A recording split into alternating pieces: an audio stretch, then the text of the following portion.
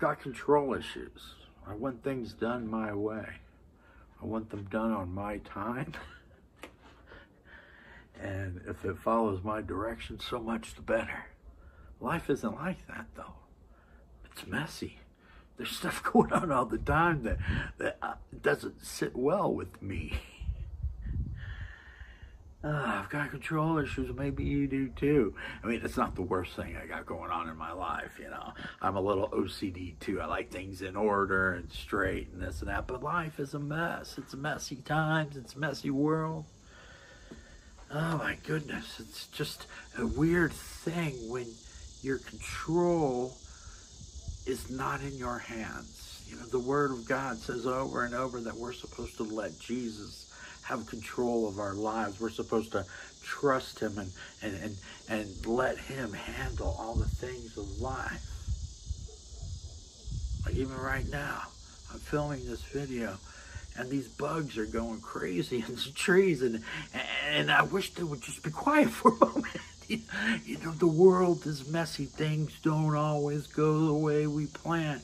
But if we are followers of Christ, if we're believers in Him, we have to learn to let go and let our strength come through His love. Jesus strong is something I try to be.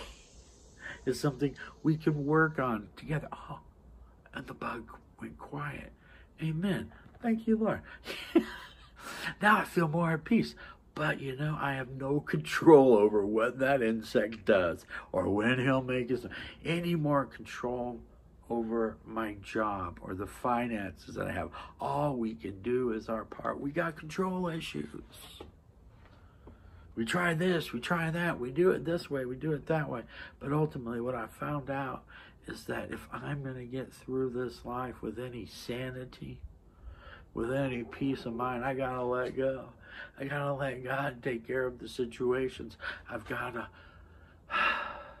close my eyes and rest in the arms of the Father and provide and get my strength provided by God through my love of Christ, through my love of others. Jesus strong is something I'm I am trying to do today. Not strength from man, not strength from, not thinking that my way is the best way or the only way. You see, ladies and gentlemen, I got, I got uh, issues. I got control issues. But you know, I'm better than I used to be. Uh, and I hope you are too. I hope you work on letting God run your life. You let God handle some situations. We fall before Him, we cry, we hit our knees and say, Lord, I need your help. I can't get through this anymore. I need your strength. Lord, life may not be the way I thought it would be, but I give it to you. I give you my love, my life, and all that is within it. So, hallelujah. Today, if you don't have control, like me, and it feels like the world's a little messy, it's okay. We can only do what we can do. We got to get our strength through Christ, through Jesus, and let Him handle the rest of things. So let me say a prayer. Dear Lord, I come before you and I know that you see us, you love us, you care for us. Help us to let go. Help us to let you handle things. Lord, help us to realize what we don't have control over. And may we put it into your hands and into your arms. And not try to take it back, take it back, take it back all the time. But maybe someone hearing these words, you, you don't have that. You haven't said yes to Jesus, but you know He's there for you with his hand out today. Just say, Jesus, come into my heart.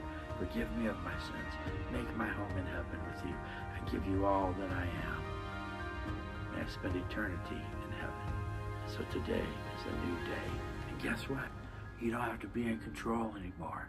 Jesus is. Hallelujah to that. Ladies and gentlemen, we got to find our strength. Let's find it through Christ. And you know, world's a little messy. Well, it's a lot messy. Guess what?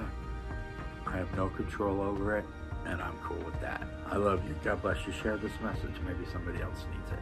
Love you. Bye bye.